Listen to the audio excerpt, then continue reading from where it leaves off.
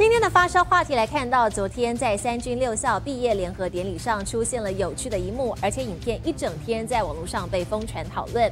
当总统与高阶将领陪毕业生拍摄大合照的时候，一位空军官校的毕业生配合比出握拳手势，结果不小心打掉坐在他前面国防大学校长刘志斌的帽子。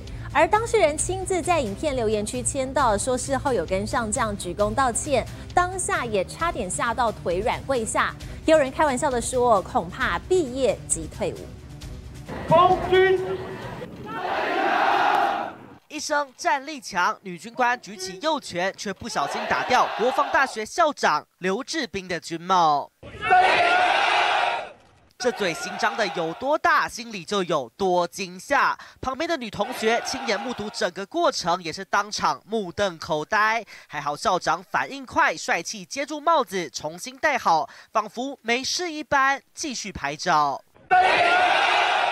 才正要从空军官校毕业，出关就击落二级上将的军帽，一拳打下三颗星星。这段画面传到网络上，直接变成迷因。当事人更亲自留言签到，说事后有跟上将鞠躬道歉，当下差点腿软跪下了。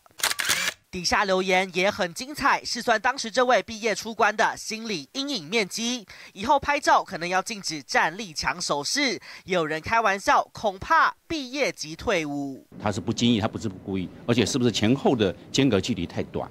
他在举这个手的时候，他为了展现他这个有力，他不是软绵绵，他为了很有力展现出来，他就举到胸前嘛。